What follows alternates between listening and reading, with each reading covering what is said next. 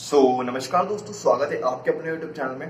तो आज अपन इस वीडियो में बात करने वाले हैं जो आपका सीपीसीटी का जो स्कोर कार्ड है वो कब तक आने वाला है? आप काफ़ी समय से परेशान हो रहे हो और जब मैंने बोला था कि 10 से 12 तारीख तक के बीच में आ जाएगा तो आप काफ़ी परेशान हो रहे हो कि सर अभी तक स्कोर कार्ड नहीं आया है। तो आज मैं आपको बताने वाला हूँ विद प्रूफ के साथ कि स्कोर कार्ड आपका कब तक आ जाएगा। तो बने रहिए चैनल पे। उससे पहले जो लोग चैनल पे न्यू आए चैनल को सब्सक्राइब कर लीजिए और बेल आइकन को प्रेस कर लीजिए ताकि आपको ऐसे लेटेस्ट अपडेट्स मिलती रहेगी। तो चलिए आज का वीडियो शुरू करते हैं।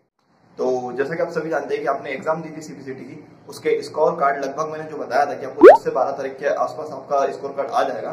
तो ये चीज़ एकदम बिल्कुल सही थी, जैसा मैंने बताया था आपको। और जो आपकी जो सीपीसीटी के स्कोर कार्ड है, बेसब्री से जिसका इंतज़ार कर रहे हैं, वो मैं विथ प्रूफ आपको बताता हूँ। आप यहाँ पर देख सकते हो स्क्रीनशॉट सीपीसीटी पे भी नोटिफिकेशन डल गया है। कि अभी अंडर प्रोसेस है ड्यू तो आपका जो 12 तारीख है मतलब आज आज रात 9 बजे तक का उन्होंने नोटिफिकेशन दिया है यहाँ पर आप स्क्रीनशॉट में देख सकते हो कि 12 9, 9 बजे तक आपका रात में आपका नोट वो स्कोर कार्ड है वो कभी भी आ सकता है।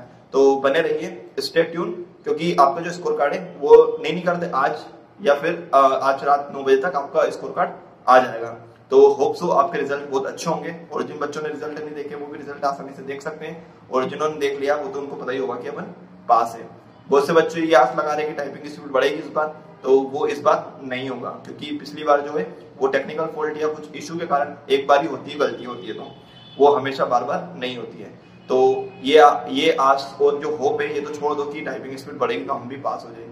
ठीक है? और टाइपिंग प्रैक्टिस करते रहिए। बहुत जल्द दिसंबर वाली की डेट आने वाली है तो उसके फॉर्म भरना स्टार्ट होने वाले हैं। तो यही आपसे एक चीज़ साझा करनी थी। आई होप आपको चीज़ें समझ में आई होगी। चीज़ें समझ में आई तो वीडियो को लाइक कर दीजिए और चैनल को सब्सक्राइब कर दीजिए और अपने दोस्तों में ज़्यादा ज़्यादा शेयर कर दीजिए। तो चलिए, नए वीडियो मिलते हैं नए टॉपिक के साथ। तब तक के लिए जय हिंद बंदे मातरम।